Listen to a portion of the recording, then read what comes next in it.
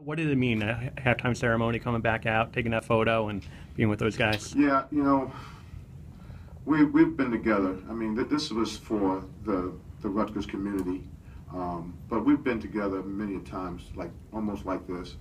But I wanted to just come out and complete the picture and the ceremonies. But um, it means a lot. You know, I'm with them. Those guys are with me. It's always good to see them. We always talk, so it wasn't like we're coming back together for the first time in 40 years. We've been together many times since.